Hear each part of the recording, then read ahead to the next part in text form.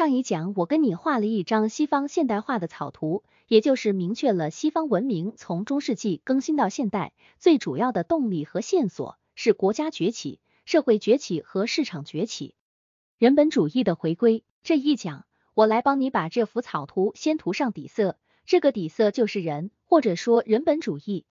你看，国家、社会、市场其实都是人的事情。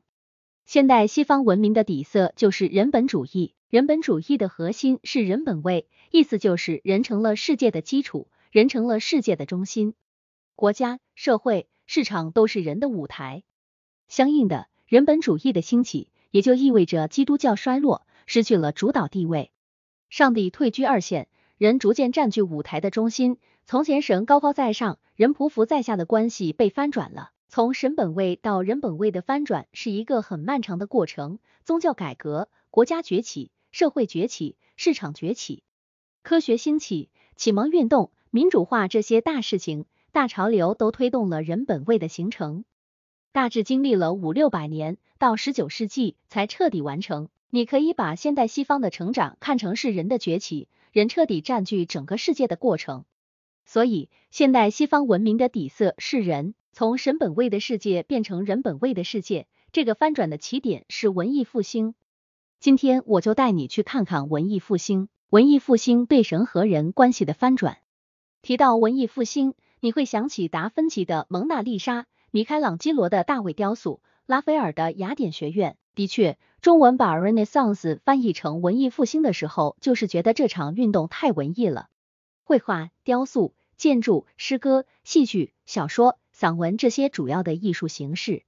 在那一两百年里，简直是大爆发，而且很多文艺成就到今天也没有人超过。我这门课里不跟你讲文艺，如果你对文艺复兴的文艺感兴趣，可以去听严伯君老师的西方艺术课。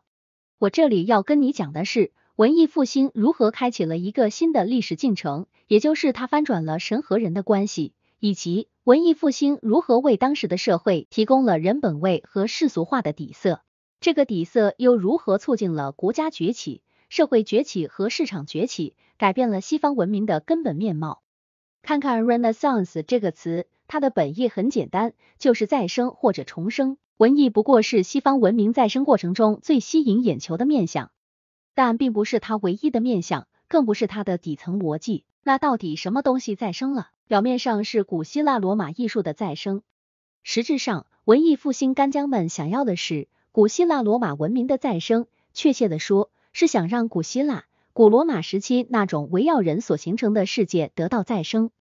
为什么要顶着让上帝不高兴的风头，让古希腊罗马再生？很简单，文艺复兴干将们一方面觉得古希腊罗马实在是太好了，太美了；另一方面，他们觉得古希腊罗马已经被基督教弄死了。两次文艺复兴的关系，在讲中世纪的时候，我跟你重点讲过亚里士多德革命。亚里士多德重回西方，打破了基督教对文化的垄断，引发了十二世纪文艺复兴。作为现代西方起点的意大利文艺复兴和十二世纪文艺复兴几乎连在一起，都是对古希腊罗马文化的重新引入和弘扬，只不过主题发生了实质性的变化。十二世纪文艺复兴还是在原有的旧的精神框架里去复兴。还是在基督教文化里为亚里士多德代表的古希腊世界找到一个妥当的位置，而意大利文艺复兴是要重新建立一个新的精神框架，是要恢复古希腊罗马那种以人为中心的世界。把两个文艺复兴区别开，涉及到了文艺复兴和中世纪的基本关系。两个文艺复兴的差别，也就是中世纪和现代的差别，是人本主义。在文艺复兴的干将们看来。刚刚过去的时代，也就是中世纪，是插在他们和古希腊罗马之间的黑暗时代。人的光辉和文明都被基督教抹掉了。他们抨击中世纪是黑暗的，要再造一个光明的世界。他们的心情可以理解，但他们的结论并不完全可靠。人就是这样，想创造新世界的时候，都会把之前的旧社会说的特别黑暗。实际上，任何一个所谓的旧社会的真面貌，都不是革命者控诉的那个样子。如果你是要去探索文明的兴衰，尤其是通过长历史大脉络去发现文明的内在逻辑，那么我劝你赶快放下非黑即白的思维方式。这种大而化之、扣帽子的办法，会让思想变得简单粗暴，很难深入文明的底层。明白了文艺复兴对中世纪的态度，你就能理解我在上一个单元为什么总是跟你讲中世纪没有那么黑暗。记住这一点，也会对你理解文艺复兴有帮助。很明显，文艺复兴的干将们是在用贬损中世纪的办法标榜自我。那他们的自我标榜到底是不是名副其实？他们有没有做到他们宣称的让古希腊罗马再生，创造一个新的以人为基础和中心的文明？从长远来看，实现了；从文艺复兴本身来说，没有完全实现。他们只是起了个头，后面还有大量的工作要通过别的运动去完成。文艺复兴的贡献，我带你看看文艺复兴干将们都干了哪些事情，你就能明白。我为什么说他们开启了新时代，但离完成还差很远。他们的第一大贡献是艺术表现。文艺复兴绘画、雕塑、建筑、小说、戏剧、诗歌到底表达了什么？人。如果让你选一幅画来代表文艺复兴，我相信你会和我一样选达芬奇的《蒙娜丽莎》。达芬奇画的真是太漂亮了，画中的人简直是完美，以至于让你产生错觉，他更接近神而不是人。这种技艺高超的作品，充分证明了艺术来源于生活，又高于生活。所谓高于生活，就是把人的光辉充分展现出来。当你觉得这份光辉实在太耀眼的时候，人实际上是分享了神性，或者说神的光辉被转移到了人的身上。这个时候的人看起来非常饱满，人的自信、乐观、坚定，通过一个一个接近神的艺术杰作被树立起来。正所谓大写的人站起来了。除了艺术上的贡献。文艺复兴干将们的第二大贡献是道德改造。人生在世，什么才是值得追求的？基督教告诉你是上帝的恩典。文艺复兴讲的是世俗的幸福。但丁的名著《神曲》讲了一个大故事，告诉你上帝的恩典和世俗的幸福不是一回事。你要是追求世俗的幸福也挺好，不是什么罪恶的事情。文艺复兴的其他干将们沿着但丁的线索，把故事越讲越大。通常分成正反两个方面，正面讲人的故事、人的生活，世俗世界的这些喜乐悲欢是人最真实的样子；反面讲教会的故事，教会里面这些高级教士也贪恋权力、金钱、美色，他们也是俗人。讲故事的调子慢慢就变了，不再像中世纪那样用故事让你去体会虔诚、纯洁、爱上帝，而是用故事让你去体会真实、世俗、爱人类。终于。在文艺复兴快要结束的时候，政治哲学家马基雅维利告诉君主，如果你想建功立业，那么对不起，旧的虔诚、纯洁、爱上帝那一套不灵了，必须拿出人的真实、世俗、奋进的这一套。两套道德观对于君主来说不兼容，做人还是做基督徒，你自己选。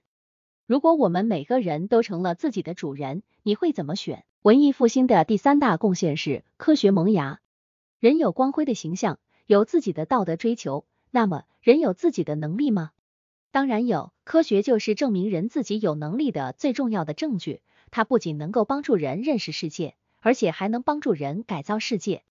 刚才说了，文艺复兴的重点在人的形象塑造和道德改造，那么它自然而然的就带出了科学的萌芽，因为科学是人证明自己的必须选项。你一定知道，达芬奇不仅是画家。他还做了人体解剖，还设计了飞机、坦克、潜艇。可以说，达芬奇就是文艺复兴时代的科学怪人。但你可能不知道，伽利略这位人类历史上最伟大的科学家，和文艺复兴时期顶级的建筑家布鲁内斯基、顶级的艺术家米开朗基罗一样。都受到了文艺复兴核心豪门美第奇家族的资助和庇护。如果不是美第奇家族跟罗马教廷关系深厚，伽利略恐怕很难写个悔过书就能逃过火刑。艺术、道德和科学表面上看起来没什么联系，但他们都是围绕人展开的。当人的形象和道德被重塑，人逐渐站立起来，成为世界的中心，人和世界的关系就必须提上日程。人怎么认识世界？怎么改造世界，就必须通过科学去解决。世俗化进程的开启，很明显，人的形象塑造、道德改造和科学革命，并没有在文艺复兴时代就全部完成。他们开始的时候，并不是故意和上帝作对。文艺复兴艺术大多数其实是宗教题材，人的光辉是从上帝那里借来的。文艺复兴刚开始的时候，人们相信科学的根源在于上帝创造了一个有规律的完美世界。人要去发现上帝为世界制定的规律。也就是说，现代艺术、道德、科学脱离基督教，成为现在纯粹世俗的样子，并不是文艺复兴从开始就策划好的，而是人逐渐变得自信，后来甚至变得自负、自大后带来的结果。大写的人站起来了，最核心的是大写的君主站起来了，因为一切艺术、道德、科学的文明成就，必须用政治加以保护。而文艺复兴时代掌握政治权力的是君主，他们是文艺复兴的支持者和保护者，也是最直接的受益者。但是现代政治却存在着一个极其诡异的逻辑：由大写的人站起来开启的世俗化进程，最终会实质性的摧毁君主制。不要看到美第奇家族和那么多大画家、大建筑家、大科学家关系好的不得了，就觉得人本主义一定对君主有利。根子上。神本主义的世界观才天然有利于君主制，相应的，人本主义的世界观天然不利于君主制。神始终需要君主在人间代行统治，所以君权神授是古代政治的基本逻辑。翻转了之后呢？神如果离开了，君权神授自然也就不成立了。人还需要君主代为统治吗？为什么不自己统治自己？人拥有统治自己的最高权利，就是人民主权，所以。世俗化的进程一旦开启，君主制就难逃被摧毁的厄运。最多像英国那样留下一个不再掌握实际权力的王室作为象征罢了。本讲小结，好，总结一下这一讲的内容。文艺复兴是西方从中世纪走向现代的起点，大写的人站起来了，从此开启了一个新的进程，不可逆转，也就是人成为现代西方文明的底色。在这个过程中，君主制庇护了世俗化的潮流。也从中受益，但它最终会被摧毁，因为神或人的关系翻转，在政治上意味着政治逻辑将从君权神授翻转为人民主权。但是君主制被摧毁还需时日，它还有重要的任务要完成，就是现代西方成长最核心的任务——国家崛起。在国家崛起的路上，最重要的障碍是教会。我带你先看看教会是怎么被摧毁的。下一讲我带你去看西方走进现代的第二件大事。宗教改革，期待你的到来。下一讲再见。